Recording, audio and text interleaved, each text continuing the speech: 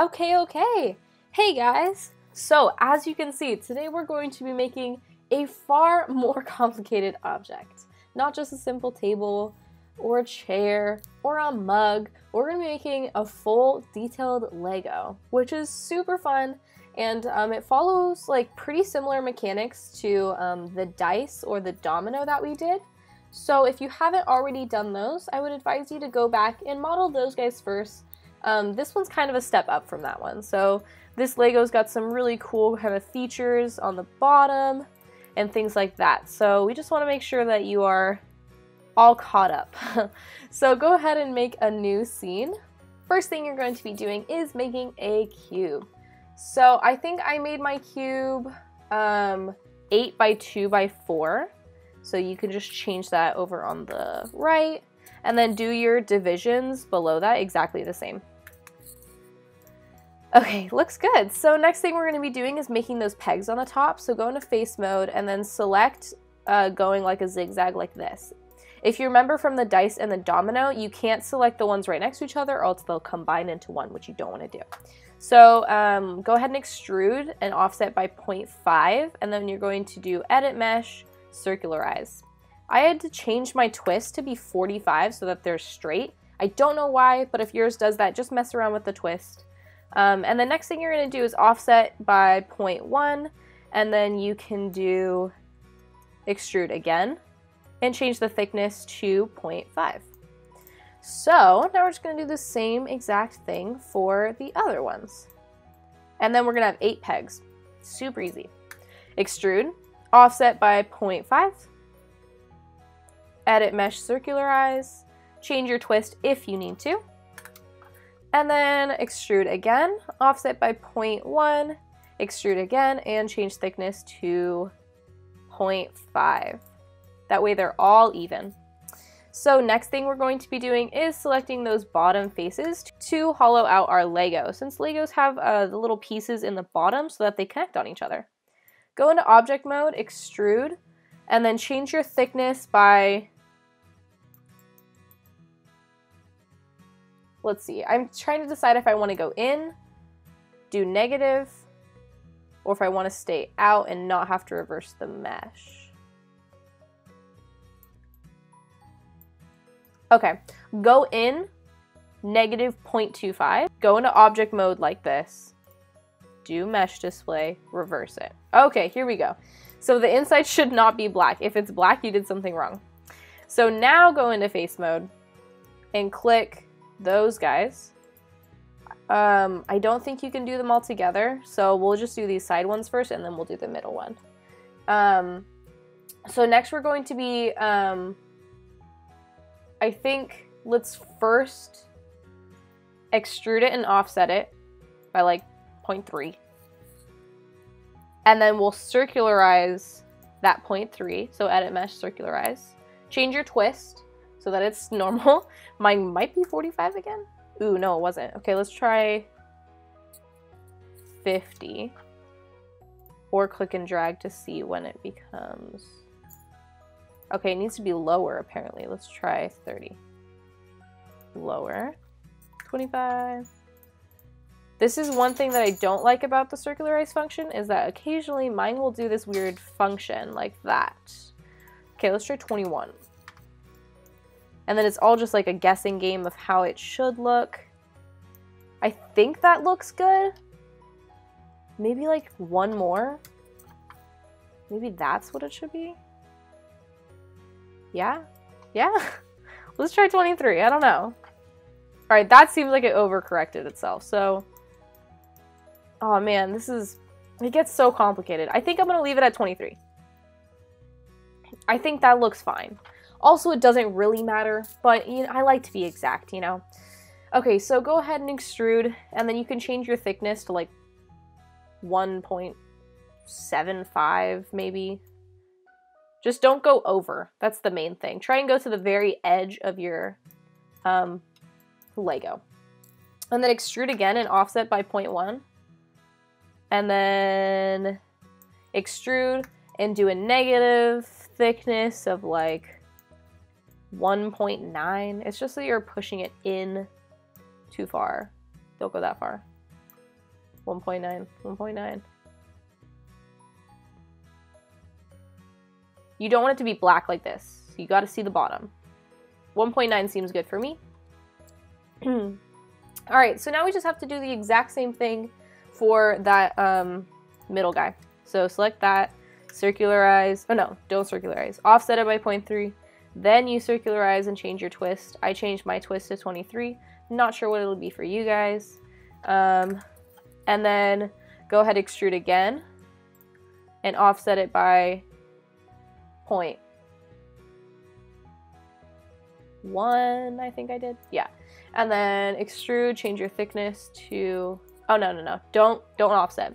Extrude, change your thickness to 1.75, then extrude and offset it in 0.1, then extrude and change your thickness to negative 1.9.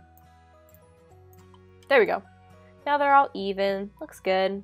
Okay, so next thing we're going to be doing is um, if if you want to change so you know how legos have that weird like wall going down the middle i kind of thought that maybe i would add that in but i'm a little scared to i think what i am going to do is i'm gonna add it in i'm just gonna do two different ones using a cube and we'll just clip the cube so it's not you know it's not part of the object technically but it like kind of is you you guys know what i mean Okay. You also want to, oh, don't do that. You also want to make sure that this guy fully touches the ground. So maybe like that would be good. Make sure he doesn't poke out on any sides and then duplicate him and just push him uh, this way to be the second guy. Perfect that's what I really enjoy about clipping is that you don't have to be exact about it and it just works like that. Um, we will need to bevel those, um, so just keep that in mind. Um, so I think really the only thing we need to do now, that's basically a Lego. Really all we have to do is just bevel all the edges so that everything stays the same. Um, and yeah, you can press 3 to kind of see how it'll round out. It rounds out a little weird because we haven't beveled anything yet. So um, just stick with me and let's go through. Select your edges on the top. Just keep double clicking on the edge and then make sure you didn't select any other ones and then do control B for bevel, do two segments, and then maybe change the fraction to be a little bit tighter, like 0.15. Legos tend to be pretty tight, so maybe like that. I would even do like 0.1. Yeah. And then select the bottom one, do the same thing, two segments. Um, maybe make it point two, maybe. And then bevel this inside edge, two segments, small fraction. And then bevel these guys on the inside so you stick with your 90 degrees. Bevel it, two segments. Okay, and then we gotta go through and bevel all these circles in the ground. So, just hold shift and double click on all of them to select them all. Okay. Two segments. Small fraction.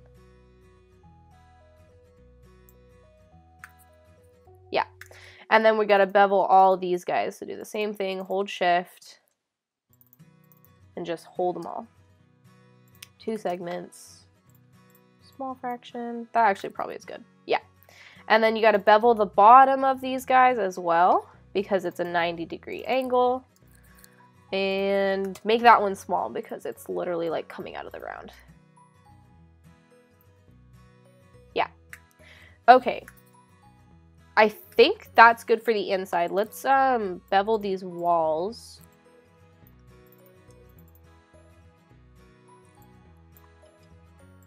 Actually, I should just combine these meshes. Go into object mode. select those objects, do edit mesh or mesh combine, hide the Lego first, then select the edges. That way you can do like the whole thing at once. I think you should be able to do the whole thing at once. We'll try. If not, then we'll go back and do it the hard way. Just don't select the corners, basically. Okay, control B. Oh yeah, you can do it. You're good. Two segments, small fraction. Click three. Hmm. Hmm. Hmm. Do object mode. Mesh smooth. Okay, so that's not what I want. Let's add multi-cuts. Trying to make them be actual squares. so just add some multi-cuts. Be even. Be consistent. That's better. Okay, okay. Um, click Q. Go into edge mode. No, not UV. There you go. Edge mode. And select those four edges. Maybe that's what we need to bevel. Maybe we should have beveled that at the beginning. Um, control bevel, two segments. Better, okay, that's what we'll do. You can go ahead and unhide the uh, thingy by doing Shift H, and then um, we got to finish beveling the rest of the Lego. So that's what it looks like right now we need to bevel all these top guys. So hold shift, double click. This one takes a while um, just because there's so many uh, edges on these guys. Um, but it looks much better after you bevel it, so it's worth it.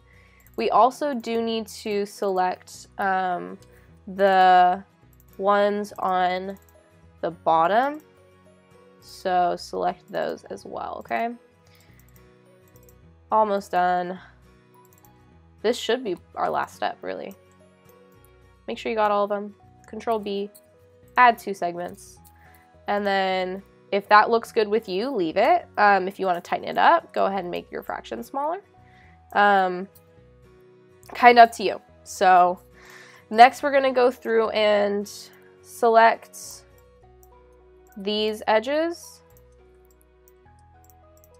and bevel those, control B, two segments. And then that should be about it for your Lego. Yeah. I am noticing that like the edge does something weird here. But it's not the worst thing in the world. I would even not bevel it. Maybe it looks better without it. Or bevel it and do it to, to your preference. That's what I would do. Do what you think looks best. All right, so basically that's just how to make a simple Lego. If you guys have any other ideas, um, let me know. You can make these taller, wider, anything. You can adjust the numbers however you want. Um, before I forget, make sure you bevel these inside cylinders uh, because those are also 30 degrees. So you got to bevel all of your 30 degree angles basically. Or not 30, all of your 90 degree angles. Um, I know it gets annoying, but that's that's kind of just how 3D modeling goes sometimes. So um, yeah, I'm gonna go ahead and finish this up. Um, and then hopefully next time we'll make another complicated object, maybe like a walkie-talkie, um, or a fridge, or some, something cool. I'm trying to get to the more complicated objects so that we have some cooler objects to texture eventually. Um, I think what I'm going to end up doing is um, texturing all of these objects in like a series. So uh, make sure you're saving all of your um, models if you plan to do that with me. If not, delete your models, doesn't matter to me. Um, but yeah, all right, that looks better. Okay, I'm gonna go ahead and call it. uh, hope you guys enjoyed this tutorial, and if you have any questions, let me know. Um, but for now, I'll see you guys next time. Bye, guys!